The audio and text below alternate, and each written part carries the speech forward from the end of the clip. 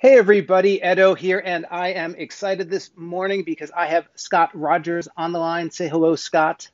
Hello, everybody. Hello. And uh, Scott uh, is a designer, a board game and video game designer. Uh, in particular, recently, Alien the Nostromo, uh, Pantone the game, and Ray Guns and Rocket Ships on the board game side, and uh, like a plethora on the, uh, that's not the right word, but, numerous on, on the video game side. Plethora, um, plethora, plethora is fine, Hefe.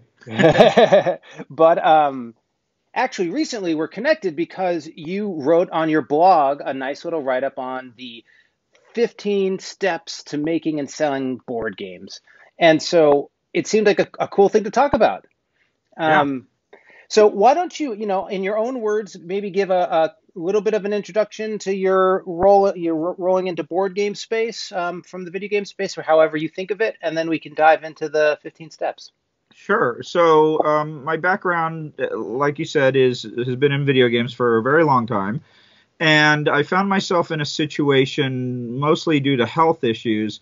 Uh, where I was on kind of a, a, break. Essentially, I was recovering from chemotherapy from cancer. Oh, and and I um, had a game idea, a video game idea that I'd been pitching around, but I couldn't get anyone to make it, mainly because, as you know, um, video games are expensive. They require a lot of people. I'm not a programmer by trade. I'm a game designer, so I'm not, you know, I'm not the one to write code. And I was thinking about, I really like this idea. How can I get it made? And and I kind of had a, a bit of a moment where I thought, oh, I can make it as a board game because I kind of don't need anyone else to help me make it. I can make it all by myself. Uh, whenever, um, whenever talking to, uh, whenever folks in video games ask me about board games, I typically say, "You don't need engineers." right. Yeah. Yeah. Um, and, and, that's that's very freeing, and it's also very inexpensive. Uh, yeah. Pardon me. So, um, so I I made this game called Ray Guns and Rocket Ships, and I pitched it around at Gen Con because I had always heard that Gen Con was the show to go to to to sell a game. And I took a whole bunch of interviews. I think it was like 13 uh, uh, pitches.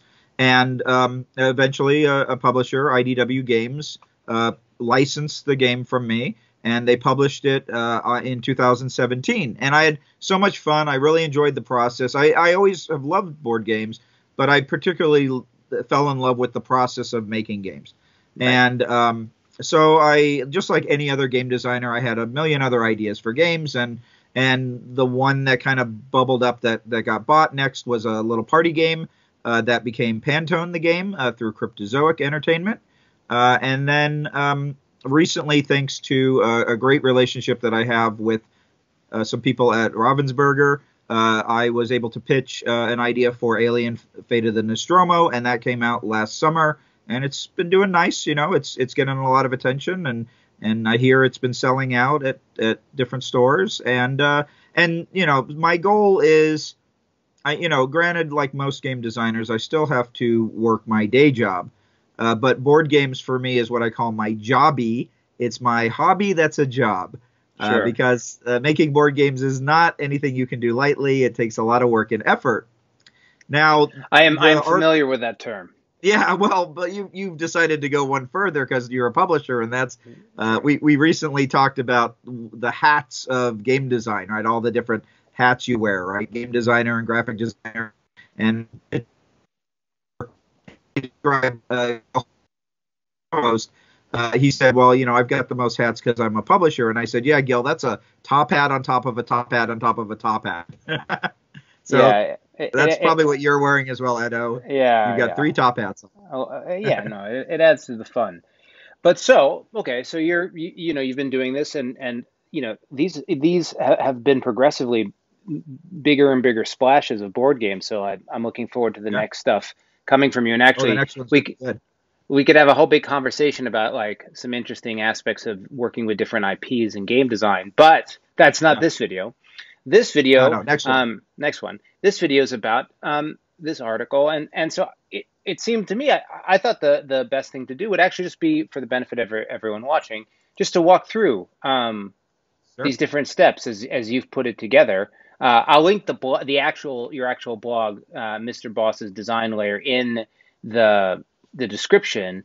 But why don't we we dive right in? Uh, and and it sure. looks like you start with uh, ideation as step one. Yeah. So it's funny. The image that's on that blog post is a friend uh, Andy Ashcraft's handwriting. Oh, uh, and that we were it. ideating.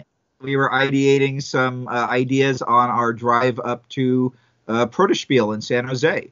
Uh, we were talking about a game idea, and so I just gave him my notebook and said, "Start writing stuff down." And I we kind of rattled off ideas uh, for a uh, kind of a farmer uh, uh, worker placement type game yeah, that I'm still noodling around with. Yeah, it needs barbecue sauce and ice cream. Looking at that, but uh, yeah, actually, absolutely. Andy's a fantastic guy. I think probably where we, we first met, that might have been that Protospiel, yep. depending on the timing. Um, yeah, he, so. I've I've worked with him on a number of, of, titles over the years, both in video games and in, in board games. But he's super. Oh, cool I can't dude. wait for your guys' next one because it, I've played it a lot and I really like it. It has. Uh, you're you're referring to codename Time Empire, but that is yes. it is it is it is that is one of the longer tailed titles, but we've we've secured uh, art and graphic design, and, and and it will be in full development in 2022. Hopefully. Well, it make it takes it takes a lot of time to make a time travel game. I hear. It does. It does. It, will feel like we'll just make it so it feels like it never happened. We'll just it, it'll happen it's the day. A, we'll have designed it. Fact, we'll I, think, I think I have a copy on my shelf right now. Yeah, just, yeah, yeah. I don't know how it back. got there, but there it that, is. That, yeah, just, ha- just, hand it hand so, it back to the people at the beginning. But ideation. So, talking so about it. Just to so yeah, ideation. So so just a, a little bit of preface for this whole thing is this is actually a blog post that took me a little while to put together, and I'm very much a list person, as the list on this uh, on this blog shows. Um, and and as an educator, I, I um, teach at the New York Film Academy and, and USC. I do game design, and so part of the the job or it to do it well is to be able to communicate kind of big ideas very quickly and, and in a compressed format. And so I've gotten moderately good at doing that. I've written a couple of books as well as about game design. And so um, I wanted to not just talk, everybody always talks about like the steps to make a game, but I wanted to go further into the selling part because that's an area that people sometimes don't cover as well. And so uh, I was trying to look at it as the complete package. You know, the moment you get kind of your your galaxy brain idea for a game, uh, to the point where it's something that is a material possession on a shelf. So that's that's really what this list encompasses. So ideation is, for me, uh, it just is playing a game of getting out as many words and as many ideas and and preferably uh, action words, verbs, um, to help guide the direction of the play. Um, what the what the player is going to be doing. So the list that's on there is kind of like uh, resources or or things that could be in like a farming game or something like that. But really, for me, it this is uh, where I find the most fun is doing the research, right? Becoming a, a minor subject expert on something to the point where uh, you have more material than you really need for the product. Uh, and I'm sure that you know for a lot of people this is a uh, fun part, right? If you you know there's so many historical games out there that I'm sure that if we were to ask uh, you know any of the creators about that topic, they could rattle off way more than what's represented in the game, uh, and that's good. It's always better to have more ideas than than you actually end up using. Yeah, I think ideation is often a, a very fun phase. You know, the the in- interesting thing for me, uh, like a, a phase zero, I would I would add or step zero rather would be inspiration. For me, a big step in going into going into any product typically comes from like where did the spark come from that leads to that ideation phase and it, it can be from lots of different places right sometimes it's a mechanic or a time in history or, or a conversation with a friend or, or wanting to work with somebody or piece of art right? All those things can then lead into this phase. Um, but yeah, yeah, lists lists are good. Writing things down are good. Like, it's easy to talk through ideation but later on you'll you'll appreciate you'll appreciate it if you wrote down what you were thinking uh, as yeah, you were I'm, brainstorming. I'm I'm famously known, or maybe infamously known, for having a, a, notebook with me at all times, and so this is just one of them. It's Scott's Book of Great Ideas, and this one is volume 44. I, I have seen I have volume... seen the I have seen these notebooks. I have seen these. Yeah, notebooks. yeah. There's a whole. Maybe upon my death, my wife will benefit from uh, selling them as a as a collected set or something like that. but um, but uh, but yeah, I, I never I honestly I've gotten into the habit of just carrying a notebook with me wherever I go, and and because you never know when inspiration is going to strike. You know, like you said, there's a lot of great ways that can happen. My my personal favorite is to misinterpret something. Uh, often I will go onto Board Game Geek and just kind of scroll through their image gallery, and I'll look at something, and it literally just happened to me this morning. I I saw somebody's like an image that somebody had uh, put up of their prototype, and I went, "Oh, that's interesting looking prototype." And I and I read a tiny burst of description of what their game was about, and I immediately in my head went, "Oh, it must be this type of game." And then I read more about it, and I went, "Nope, I'm completely wrong. It's it's not that at all." But then I went, "Well, maybe the first the misconception that I had might make for a cool game idea. So it's gonna go in the notebook and and I'll explore it and we'll see if it if it works or not. Yeah, uh, a, very old boss and mentor of mine, Andrew Leaker, um, had a mountain of of uh, you know like like cabinets of old ideas. He doesn't do the notebook thing so much as just tuck away printed old ideas. Um, and he he taught me a long time ago that like ideas are always valuable and the idea for today might be the solution for tomorrow and and you know the amount of times he would just be in a situation be like you know what i think i got something and like rattling back and finding something from 20 years ago and being like this is a perfect for that um, I, I, think there's something to that um, we do have it's, it's hard not to be a hoarder of ideas you have to be because they can get very overwhelming and you feel like you're not getting anything done sure, but conversely sure. i remember um, when I was working for Disney Imagineering, I found out that the concept for the Buzz Astro Blasters ride, the one with the laser was actually designed when the movie The Black Hole came out. And they so they sat on that idea for like 10, 15 years. And and to me that that taught me a nice little lesson of eventually good ideas get used. Eventually um, you'll find a place for a good idea uh, so uh, I, in the past, I used to throw out prototypes. I famously threw out a a really good working prototype that I had kind of out of frustration. And I literally spent like 10, 15 years trying to recreate it and, and kind of unsuccessfully, in my opinion. And, and so I, between those two lessons I've learned, uh, don't get rid of ideas. Keep, yeah, hang and, on to them, put them so safe and, and, and the only thing I would add there, and, and we are getting a little choppy, so let's see how it goes. But um, the only thing I'd add is, I think you can use that putting it into the notebook, putting it into the box as a way to hoard it, but separate it out, right? Like you're like, cool, it's there, it's gone, but it's but I still have it, but I don't have to like keep it in my mind space. Let's keep rolling. So um, step two, you have is assemble. Yeah. So this again, another fun step uh, I in that ideation phase, I will draw out kind of like a little blueprint of what I think should be in the game. So then I start collecting the pieces for it. And I, I like most game designers, have a pretty robust cabinet of bits. Uh, so I've got you know tokens and dice and paper and and you name it, all types of gigas.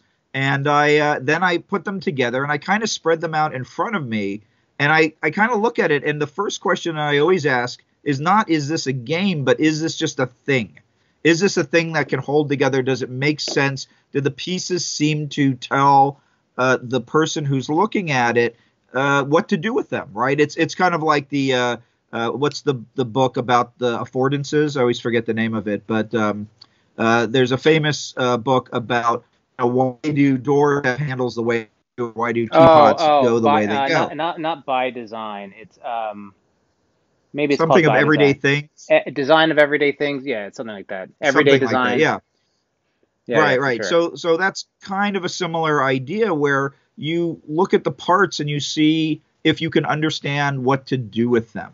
And then once to me it kind of tells a little bit of the story or at least informs how they're meant to be manipulated and interacted, then I kind of move forward with the gameplay from there.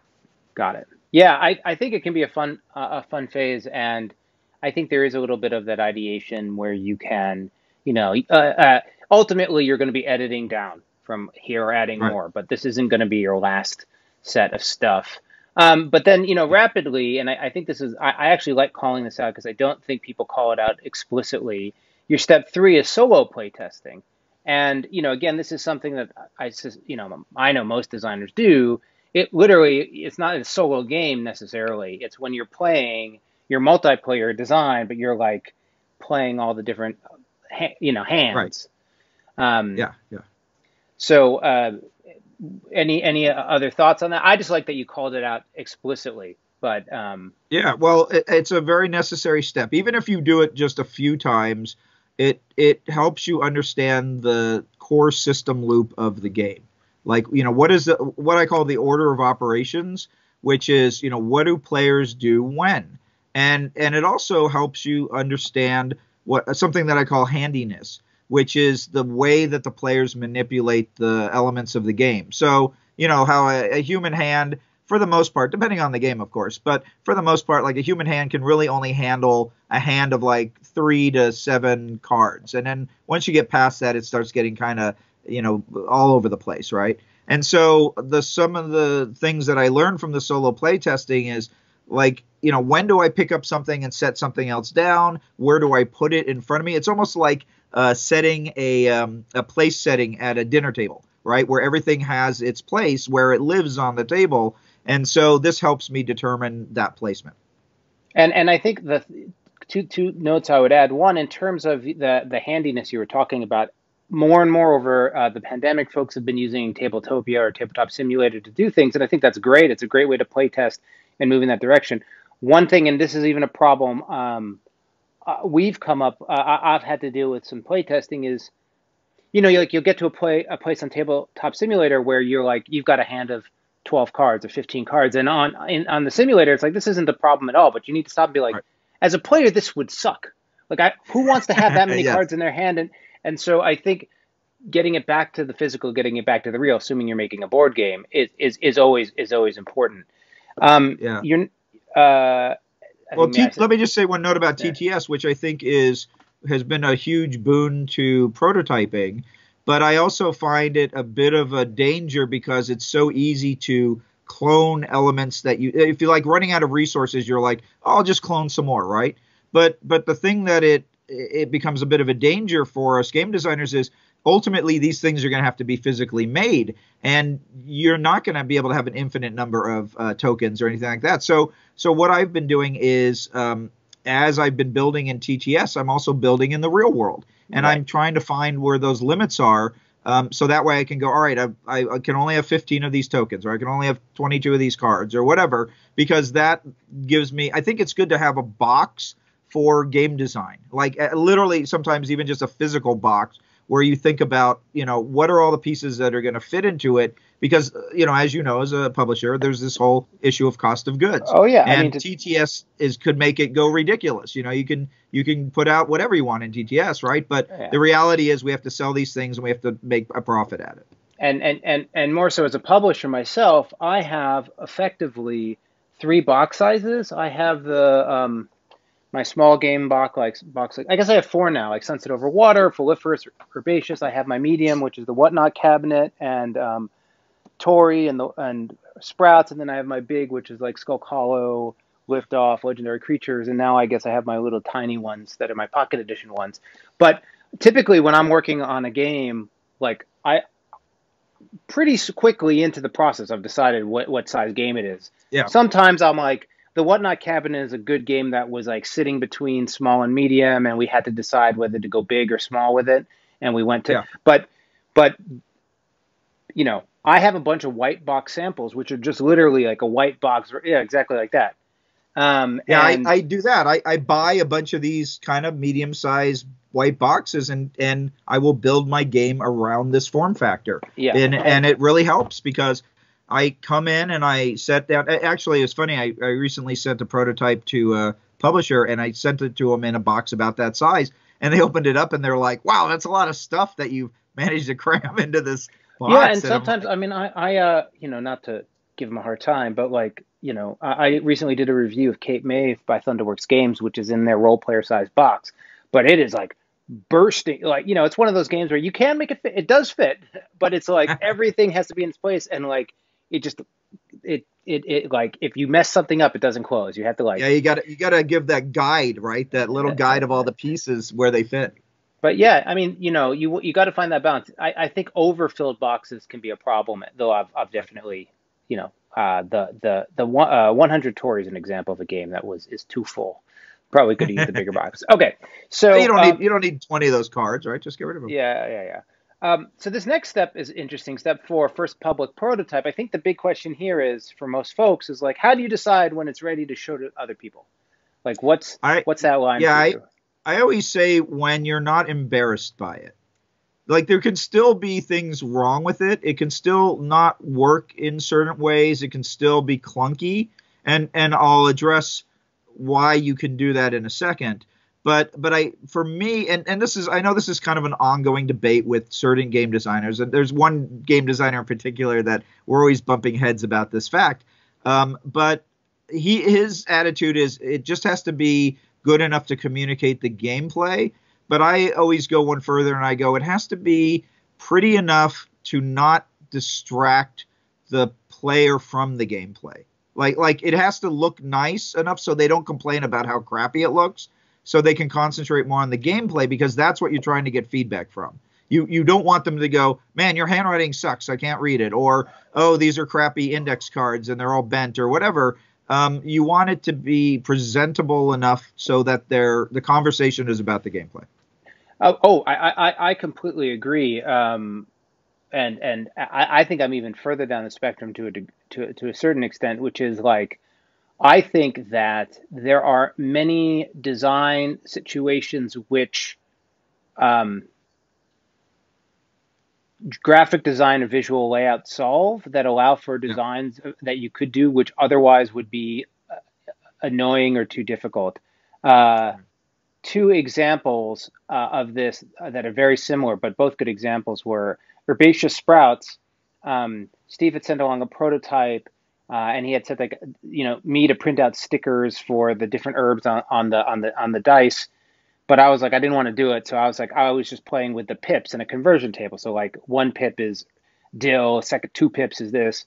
And you know i was giving him feedback on it. And i was like man it was just there's so much effort to like see the dice and your herbs and blah blah blah. And he was like wait a minute wait a minute. Did you print the the herb dice or did you do the conversion table? And he was like i did the convert i you know i did the conversion. He's like it's never going to work that way.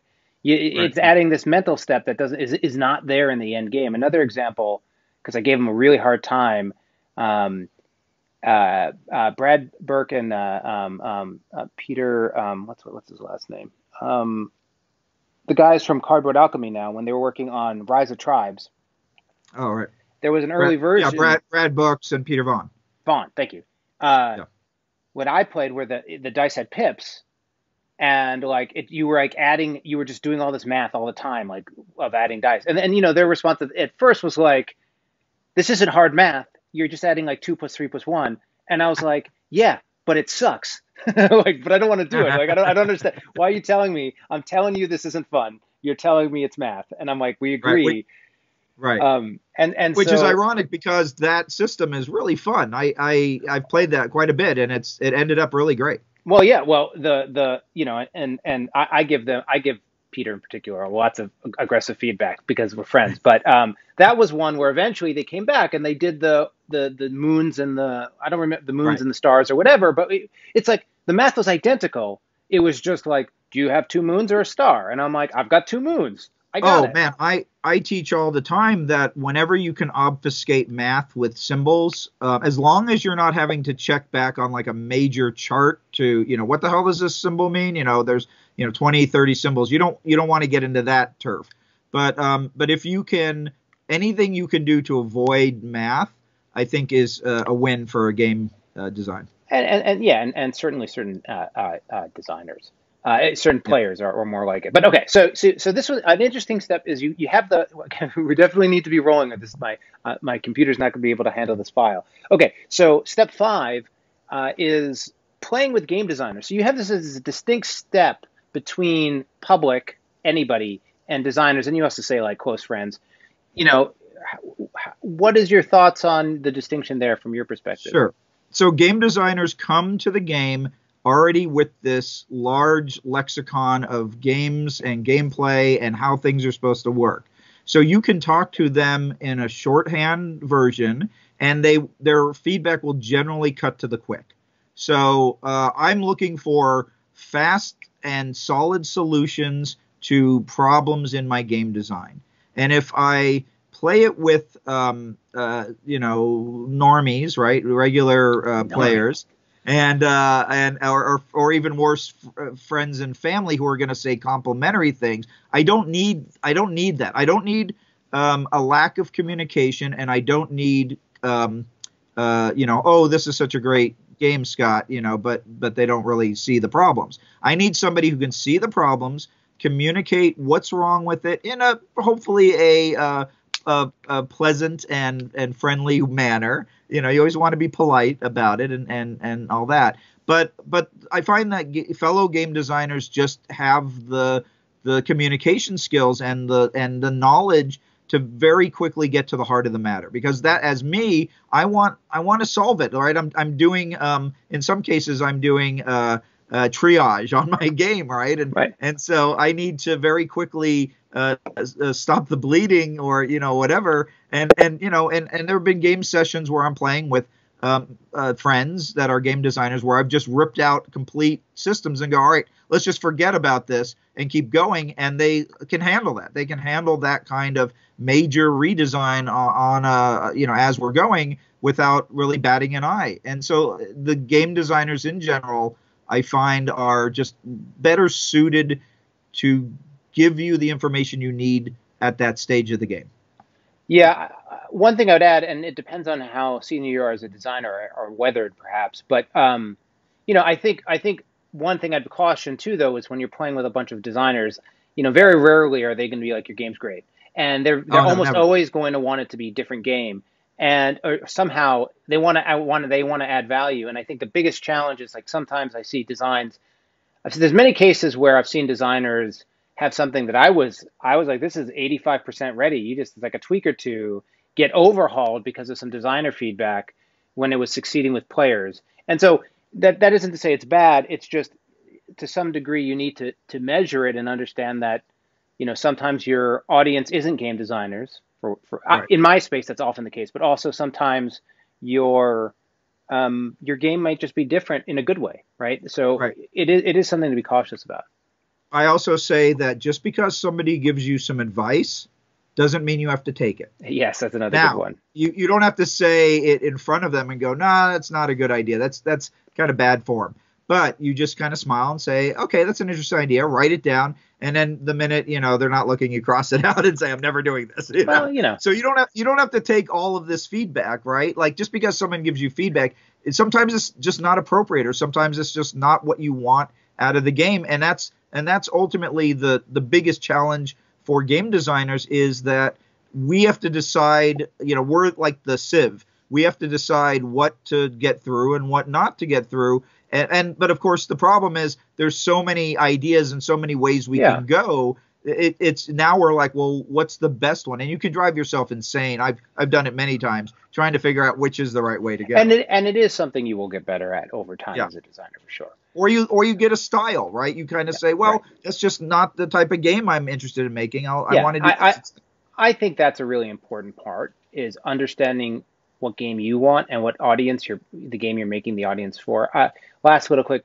example. Uh, there's a, a card there's a little bit in herbaceous where like mathematically there's a choice in herbaceous on a certain pot where like you know it's it's equivalent you have two choices that are of equivalent value and it was basically like i was with a couple designers and they went off the rails on it uh, and and and i went back to steve Finn, the designer and i talked to him he's like yeah i he, they're right but no one cares and right, and right. and actually as a player they like seeing it go up by one rather than me having gone up by zero like, it, right. like it, it made it. Otherwise, it looks weird to the player, and the player's confused. Right. Versus oh, well, these three designers having a hard time with it, type of thing. There's a whole there's a whole type of um, psychology that I don't think a lot of people have really addressed about ways that you can kind of fool the player, and I don't mean that in a bad way. Sure. But there, but like I remember um, uh, back in the days when I was doing games for the Wii,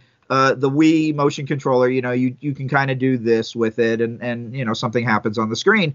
And Nintendo had uh, published a game where you had to put it on your head and kind of move up and down with it. Now, very quickly, all the fellow game designers were like, well, that's just bullshit. They're just, you know, having you put this on your head and and it doesn't mean anything. And I said, but yeah, but it's part of the fun. It doesn't it doesn't mean right. anything. Like you could do it the other way, but the way that the designers want you to have fun is by doing it this silly way. And so this is this is a little bit of the hand waving that we do as game designers. Is sometimes we might have we might even have redundant things that just are flavored slightly differently, and they still do the same thing.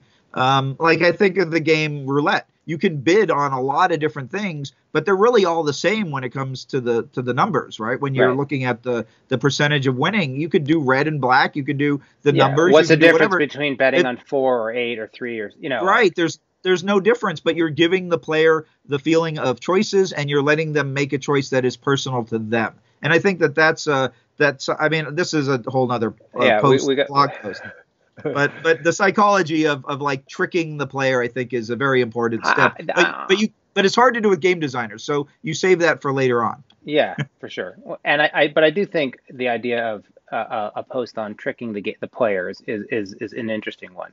So we've prettied things up. You have a step regarding get the word out, uh, which I complete. Yeah. Oh wait, wait, hold on. Did we? Yeah, we. We no, talked no, we, didn't, we didn't really yeah. skip anything. Yeah. Okay, I was like, so getting the word out, I think you know, is pretty straightforward. But you know, at that prototype sale, uh, that stage, it's Protospiels. Um, you, uh, mainly, probably there are some Discord channels and, and ways to share uh, and proto and play like you know play with other, other folks. Maybe do a print and play, perhaps. Maybe, yep. maybe not. Um, are there any other big categories of getting the word out at that stage? You know, to be honest, and it's I don't know if this might be a violation of their site protocol, but early on, like if I'm in the stage of of showing it at Protospiel, anytime I have a game ready for public consumption that might have an opportunity for people to take pictures of it, I put up a listing on Board Game Geek because it does a couple of things. One, it kind of like um, you know, it's kind of like you remember when we were kids, we put quarters on video game, you sure, know, the sure, kind of sure. your your wait in line. It, it kind of does that. It kind of says, look, I I have a game coming out. It's called this. Uh, and so I'm kind of like, you know, it's a little bit like a very loose copyright in a way. It is. Uh, a board game geek has become more stringent about such things. Uh, right. Uh, you, you do. They require a lot more information, and right. and, and, and but but it, it's a good example of ways to um, there is a point where it's okay. It's just yeah. that they've gotten a little bit. It used to be like you could find a bunch of basically prototypes on on BGG, but right. Um, usually, but you it's want, usually when I'm ready to sell a game because then I can go to a publisher and go, well, if you look it up on Board Game Geek, you'll see you know a lot of that information as well. Yeah. It's kind of like having your resume on LinkedIn. Yeah, no, no, it, it is. I, I definitely agree. I think it's it's just you know uh, well, you know if you can do it, do it. But I think they they have become more stringent. Oh, so right. welcome back. We actually had some connection issues as we were rolling through the list, and we had to regroup on a new day, new time. But we are going to continue along with this video. New outfits, new attitudes. It should be fantastic, right? Exactly. Um, All right. We are on. We we had just been speaking about step seven, get the word out, and right. now step eight is more playtesting. Right. You know, at, yeah. At, so, at this point, do you how is this playtesting different? Is it more? Maybe you could talk to that a little bit. Right, right. This is playtesting with you know normal folk. Now you're you've kind of bashed it a few times with your game designer friends, and now it's ready for prime time. And so this is usually when I take the game out to Protospiels or to local. There's a there's three local gaming conventions here in Los Angeles, and I'll take it to that. And so this is where I'm starting to get gamers of varying degrees of um, applicability. And I, I, say that because a game is for a certain audience, and you might not be able to collate that type of audience perfectly at a convention. There are there are some conventions that that will kind of try to match you up with certain types of players and things like that. But for the most part, this is kind of like open gaming. So uh, you're gonna, you know, I've I've for example, when I was playtesting ray guns and rocket ships, which is very much a skirmishy, dice throwy, you know, a, a trashy type of game, I had you know very um, uh, you know very strong Euro style gamers that were like, well, am I am I gonna like this game? And I'm like, I don't know. Let's play it and find out, you know. And and so it's it's good to get the opinions of people that are grossly um, different than the target market, just to see if it has any sort of crossover appeal or anything like that. And and sometimes you get some good opinions and good advice from people, regardless of what their interests are. You know, people when they are playtesting, they generally want to help. And so some people are better at communicating that that help than others. Oh, sure. Uh, but but it's up to you to be able to parse the information and and you know you, just because somebody gives you feedback doesn't mean you have to take it. I think I, I said that last yeah, time. Yeah, yeah, we for sure, but, and it's true. Yeah, it's true, right? It, you're the designer. You know the experience you want to create, or at least you have an idea of the experience you want to create. And so it's always best. It's always best to listen to feedback, no matter where it comes from. You can a good idea can come from anywhere. Um, and and then of course the the other general rule is if you hear something often enough, then obviously it's something that needs to be fixed, right? So if people yeah. keep saying, I don't, I feel like I'm, you know, uh, I'm, you know, I'm not getting enough resources. Then, then if enough people say that, then yeah, they're not getting enough resources. Now there's flukes. There's there's times where things are circumstantial, and if you know your game well enough by that point, you can kind of identify them as edge cases. But I will tell you, as a published designer, and I'm sure Ed, you have the same experience, that if players are going to gripe about anything, it's always going to be about an edge case. And so you want to make sure that you are covering as much of that information, uh, letting them know that, um, sure, there's an edge case, but here's the answer to it. Here's how you resolve it. Because people look to rule books, uh, you know, when because you're not there, you can't explain uh, your game to them.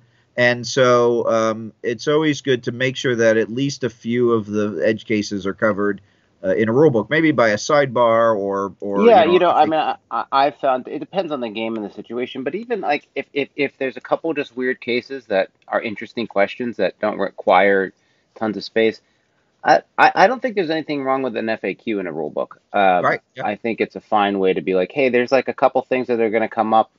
You know, yes, you. Yes, technically, this is the end of the turn, so that card doesn't work this way. Just right. if you ask.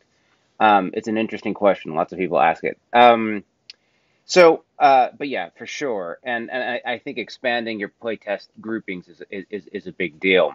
Right. Um, so your next step, actually, I was surprised to see it where it was. So I, I am curious here. So so step nine here is you have getting quotes. Right. Um, why don't you take me through why at this point you find this is the time to do that because you haven't gotten to deciding if you're going to publish or not. You haven't gotten to these other stages later in your in your list. Right. Why don't you go through this a little bit? Sure. So um, there's several good. This is a, a more recent um, thing that I've learned as a as a designer, and that is the closer I can figure out like what the cost of a game is going to be, um, the more the easier it is for me to approach publishers. So I can say that look, in my own investigation, I have quoted out my game and it costs five dollars a unit. You know, I've talked to a few people, and and this is you know by my you know now your investigation might uh, find something else out, or you might find uh, that five dollars you're like, all right, great. Well, maybe we can plus up a few uh, components and make it a six dollar game, right? But we still are making a profit off of it. So it so it helps the publisher. I, I think it's helpful information for the publisher. It it you know as long as you're not saying you know look this is a five dollar game. Well, of course the publisher is going to take it and and have room to run with it, and and that's their prerogative. That's fine. Um, but the other thing that I think it helps with is it determines what I consider the minimum viable product, which yeah. is there's a certain level of the game. Where I, am a by nature I'm a um, additive designer, not a reductive. No, I'm a reductive designer, not an additive designer. So I will start with something and I will pare it down, pare it down, pare it down until it's uh, something that is um, kind of uh, not streamlined, but kind of humming at its optimal capacity, right? And and game designers often have a tendency to want to uh, you know add features and feature creep and and and components oh hey wouldn't it be great if we also had this and if we also had that and and I find that sometimes that can get a little distracting. And so, a good exercise. Uh, actually, I learned this from my friend uh, Tate Wu, who is a, a, really great and prolific game designer. He essentially said, "Look, let's let's like strip out what do you need to make this game play."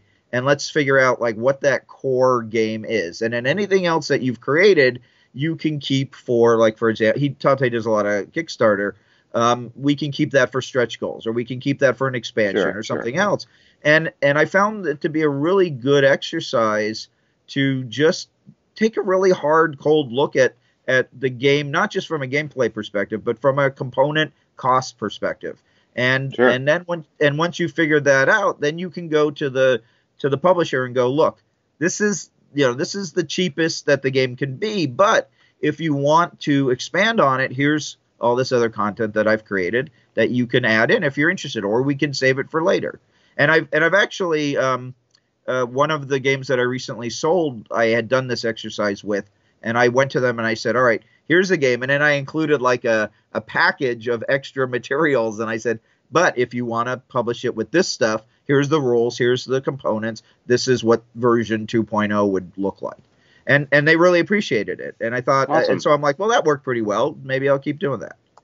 Cool. Yeah, you know, certainly as Pencil First Games, this is about the same time we would be looking at that kind of, you know, getting an idea of the components. And and actually, at this point, I I don't really send out anymore. Uh, I have enough, you know, there aren't that many components that I haven't done, so right. so I can you know sort of be like, well, you know, like an example would be like Mall Peak, it's not a great example, but Mall Peak effectively is the same weight component density as Skulk Hollow. So I'm like, I know how much Skulk Hollow costs to make. It's going to be within 50 cents of that. So, um, but, but, you know, it's like we did a, a flip and write that uh, is uh, delicious, which is coming out next year. And I had, I've never, I had never done uh, pads. I don't have a game with, with, with drawing pads on it. And so I was like, I don't know how much that costs.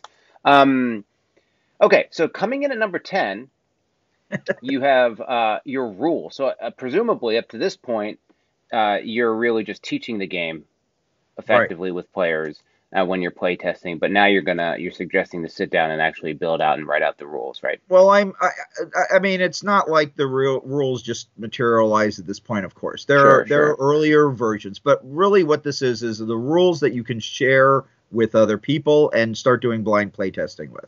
So this is uh, this is the version that you feel confident enough in the rules of the game. You've you've corrected the major problems. You've identified the edge cases. You have laid out what I call the order of operations for the player, and you have it printed in some sort of you know moderately visually interesting or or at least informative form.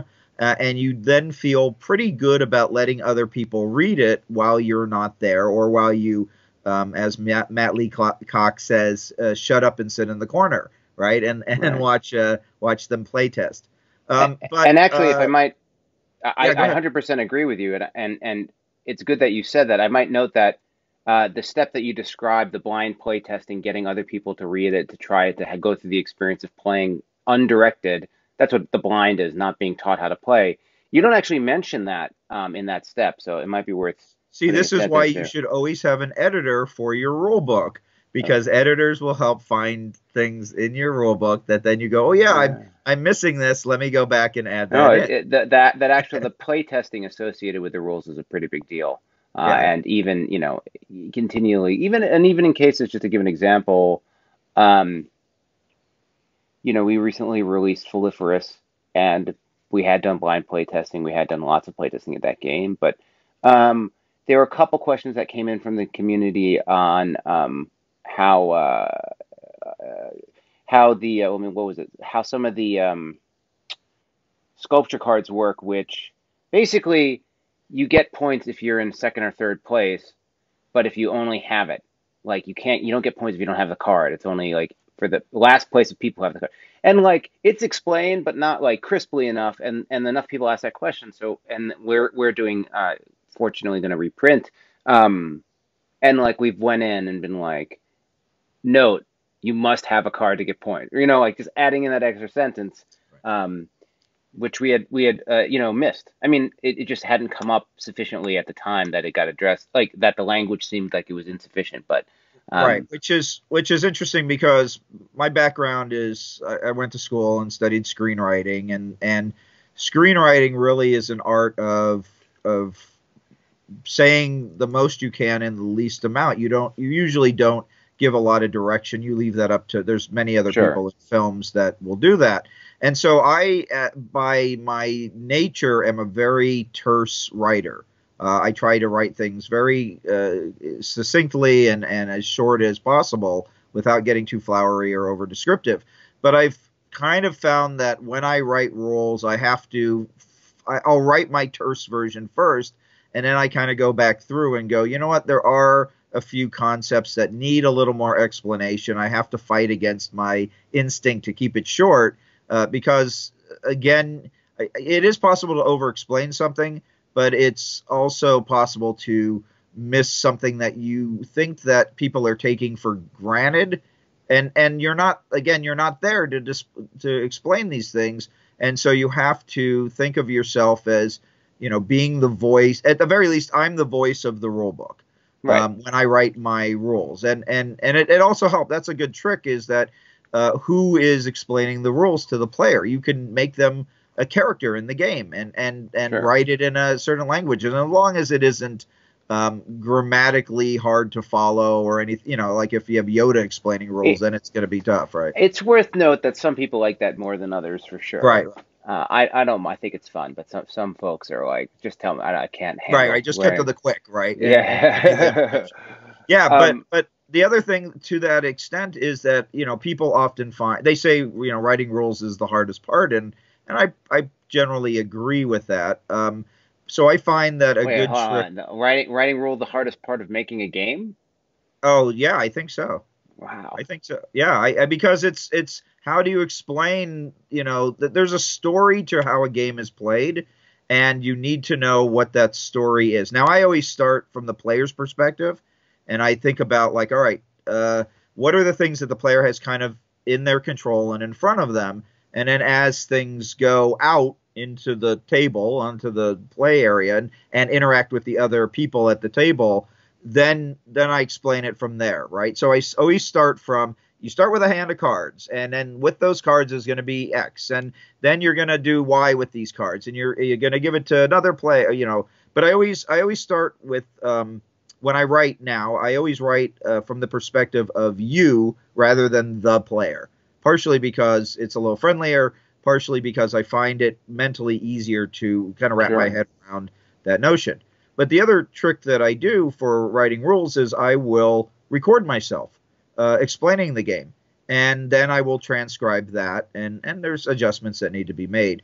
But I, for me, I mean, your mileage may vary, but um, for me, I find it a very helpful exercise to kind of get that story straight, right? Because I've spent all this other time playtesting and explaining it to other people, and this is how I've been communicating the rules up to this point. So now I've got to take the things that I'm saying, and, and I'm, I'm obviously in real time seeing success and failure with communication of my rules to players. They might go, well, wait a second, what do you mean by that? And then in my head, I'll go, yeah, that wasn't really a great way to describe it. Let me find another way to do it.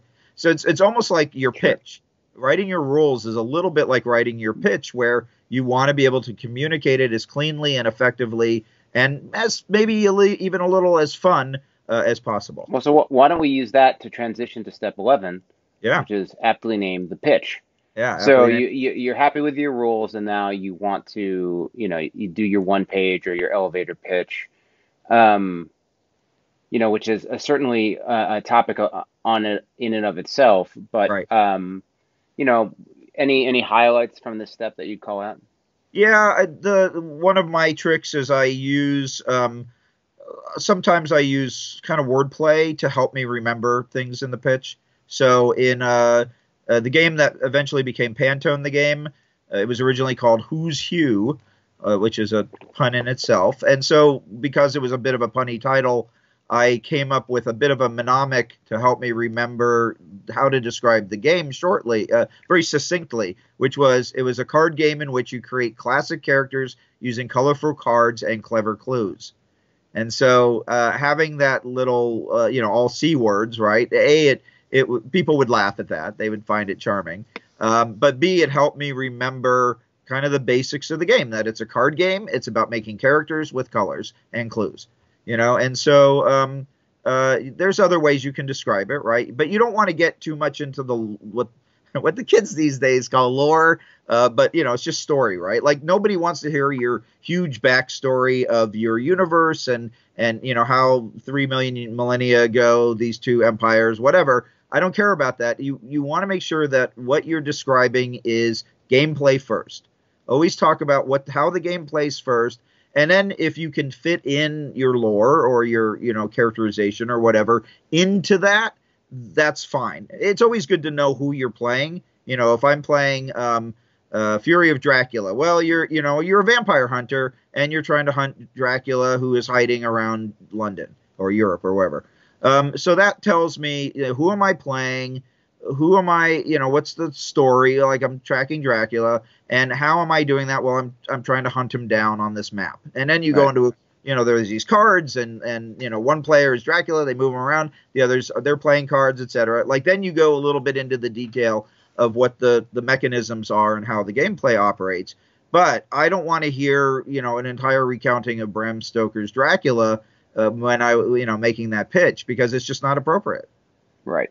No, it, and and I think, um, you know, going into okay, starting again. I think having the elevator pitch, being able to succinctly pitch your game, is really key. You need to use it as a conversation starter. Right. There's the sell sheet. Uh, you know, I don't think we need to go into the whole construction of a sell sheet here, but um, you know, I think that uh, you need the business card first, for lack of a dated term. You need to, you know, get somebody engaged and excited, right. and um, learning how to do that's a big deal.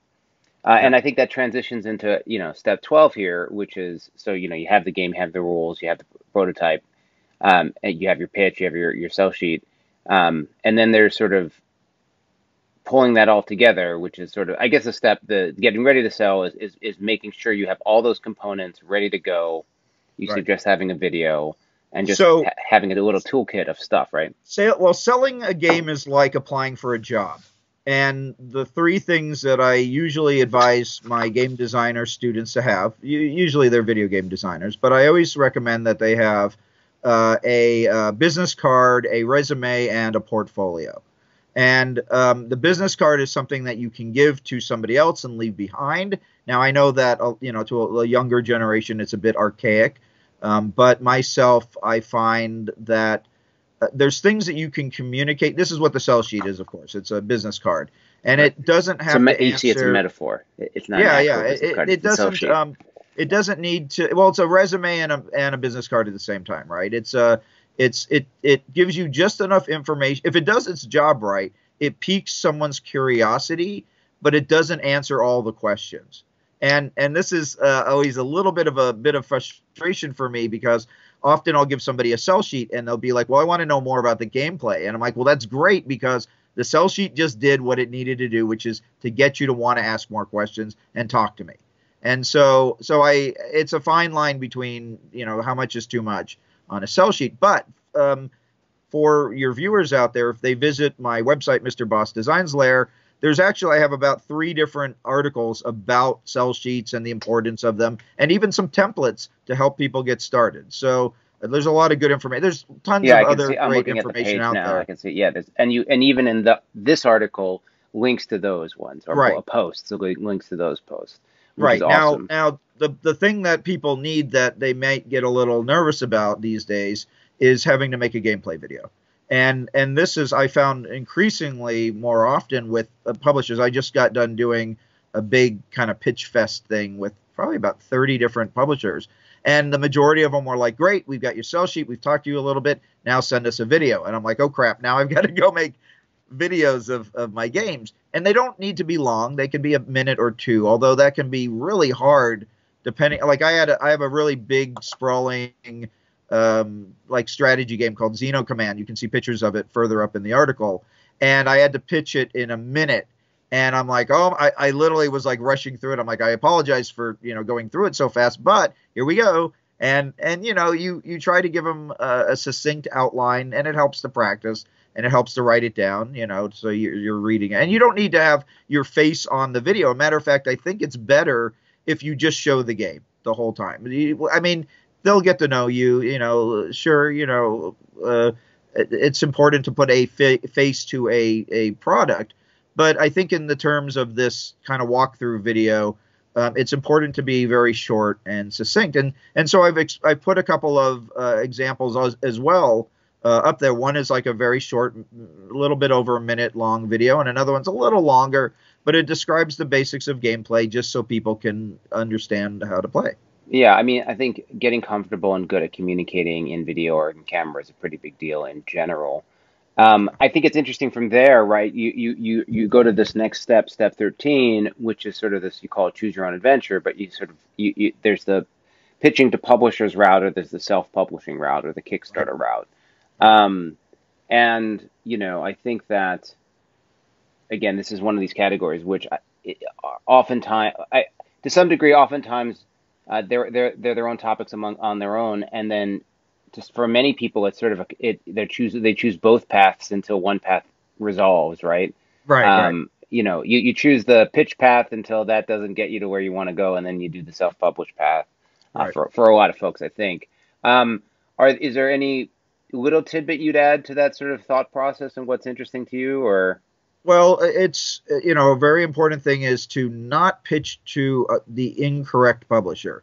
So sure. when I was going around pitching ray guns and rocket ships, I went into my local gaming store. I looked at every board game uh, company that made genre games that had miniatures in them, and I only pitched to companies that were had made games with miniatures because I knew it like now granted there's there might be opportunities where you talk to somebody and they go oh you know we just have happily you know we're just um starting to investigate making you know like like you know I and I I would never pitch a game with minis to Pencil First but but if you had said to me well actually Scott we're starting to look into the idea of doing miniatures then I'd be like, well, let's talk. I've got some games that we can talk about. I, I think it's you know, and again, this is and for for folks who want to pitch to lots of folks. I mean, even think of it as just who do you start with? Where do you put your energy first? I mean, I, I certainly appreciate and and and more than just for the purpose of knowing who to pitch to. Uh, you should be pitching in the language that the publisher. I mean, not the stroke egos, but like basically like, hey, I'm really familiar with your product line there are these three games that have been really successful. I have this game that's you know it's oh here like um, there are the folks who pitch who try to pitch games to pencil first games to come out with like oh I have this you know like dark humor party game. It's like why why do you think like we don't um, versus the person who's like hey I have this nature themed like to play blah blah blah that you know it's very reminiscent of blah you know so I think I think that also helps you um, in your initial communication with a publisher to show that you have spent at least a little bit of time understanding their product line and their products, uh, which helps, right. I think, uh, uh, so, make, make so them familiar with you. I've been, I've been, you know, as somebody who has been fortunate enough to get enough exposure that I think people kind of know who I am now. At least I can, I can walk into a room and not have them look at me as a complete amateur. Um, I have been taking a slightly different tact when approaching publishers, which is I have games to sell, just like any other game designer. But to be honest, um, publish I find that most publishers they definitely have an agenda. They definitely have a, a house style of game that they want to make. And and often, even though I, I can look at their their uh, library of games, um, not not everything is always obvious to me as a as an outside observer. So I've been going to publishers recently and going, look, I'm I, I love what you make. I you know I played a lot of your games or I'm familiar with them or whatever, and they're very exciting and I'd love to work with you. You you know you do very high quality games or whatever. Um, let's just pretend I'm talking to you right now, Ed. And uh, and I would say you know what are you looking for? What sure. what kind of game do you want to make? And you might go. Well, you know, we've been making a lot of games about herbs lately, but I really want to make a game about fruit, you know, sure. and and I might go, oh, okay, well, I'm, I happen to have a fruit game, or oh, I'm working on an idea of a fruit game, or uh, well, I hadn't considered that, but maybe we can talk a little bit more about what you, you know, is it a worker placement fruit game? Is it a card drafting fruit game? And you might go, well, we haven't published a, a social deduction fruit game yet. And I went, okay, great, let's maybe I can make something for you. So then what you're doing is you're you're kind of hedging your bets. And and myself, it maybe it's just my personality, but I would much rather have a better chance of making a sale than just blindly shooting off something that I have no idea whether it's going to fly or not. Sure. And, no, and, and so, and, and, those that really, I mean, even just in the context of the relationship building, I think that's a, that's a, valuable step in the process, right? Right, absolutely. Because this industry is about, for, when you do it right, it's about making friends. And sure. you know, I I'm a friendly guy, and I want to be friends with everybody. You know, if I can. I mean, there's you know, there's yeah. certain people that well, you maybe you shouldn't be friends with, but but sure. that's a whole different topic as well. Well, sort of sort of about being friends with folks. I mean, to some degree, um, you know, in your next step is just you're talking about more exposure, which you know, to many point is just getting your game out there, getting out there, being at the Protospiels at the cons, having the speed dating on social media, right, getting to right. know folks, having it in your back pocket. Um, yeah. The Daryl Andrews, you know, suitcase of of of you know ideas. Yeah, um, yeah, exactly. Yeah, I mean that um, guy. You know, look how many games he sells. Right? He's a, he's a monster because he's got so many games and so many ideas, and he's a friendly guy. Um, yeah. So, sure. uh, so an interesting story um, about that is, you know, th- uh, this saying that luck is when preparation meets opportunity, and uh, the the perfect example of that was um, I had that game Who's Hue, the the game that became Pantone. I had it in my bag, and I almost didn't bring it to the show because I was like, well, it's this little game, and it's kind of weird, and it's not like any of the other things I'm pitching. But I'll but I'll just throw it in my bag anyway, just so it's there. And I I met with um, Cryptozoic Entertainment, and I was pitching a, a whole bunch of other games, like a a, a, Wild West shootout game and a and a dungeon crawly game and a and a sci-fi game and a, a bunch of genre type things, which are generally the type of games I like to make. And they looked at everything. They're like, okay, these were fine, but what else you have? And I said, well, I have this other party game, but I don't think you guys would be interested in it. And they're like, no, no, show it to us. And I'm like, no, nah, I don't, I don't really think you guys don't make anything like this. I, you know, I don't, I don't know if you'd really find it very appealing or not. And they're like, just show us. Now, I wasn't trying to be coy. I was literally being honest. Sure. Like, I didn't think they would care about this game. And I brought it out and we played a few hands of it. And uh, Cory Jones, the creative director there, was like, I know exactly the game that I would license this with. And Cryptozoic does a lot of like DC and Cartoon Network, and so I figured that would kind of be a good fit. And he and he said, you know, Pantone and I kind of took a couple of seconds. And I went to art school, so I know what Pantone is. But I, uh, he, what really had happened was Cory had wanted to make a game with the Pantone license for a few years, but he had never found the right game. And here I show up with this game all about color and making characters and sure. all that, and it was a perfect fit. And but I didn't know that. I didn't know that Corey had been thinking about this. I just showed up with this little game. So once again, it's it's preparation was me throwing that game in my bag meeting the opportunities, which was Cory wanted to make a Pantone game. Yeah, for sure. I mean, and and and and it, it, very uh, genius combination right there. Uh, yeah. So so it's very smart, and and and we've now put together two gigantic. I, I, I'm I still don't know if I need to do a part one and part two. I'm just going to make one long video. But we we've reached step 15, which is effectively start all over again at step one. Go back and right. do it again and again and again. And yeah, um, you and you can have these. The, you yeah. have to love the process, the journey of making the game and talking to people and getting them excited. And it can get discouraging. I mean, I literally have a stack of prototypes that probably will never get made. You know, they exist. They're they're games. They're fun and playable, but they just haven't found a good home. And and you get to a point where you get a little tired of it. And and so as a creative person, sometimes you need to learn to just cut bait, you know, and and let it go. And, and you know, maybe it will. Maybe one day you'll come across somebody who says, "Oh, I'm really looking for a Wild West shootout game," and I'll say, "Oh, I happen to have a really good one. Let, us talk."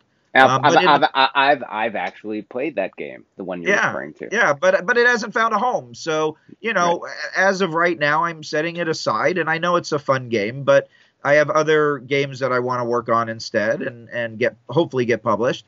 So you have to be willing to kind of you know tuck your ego uh, and and go all right well this one didn't work out for whatever reason. Um, so let's let's try it with something else. And you know ideas are cheap.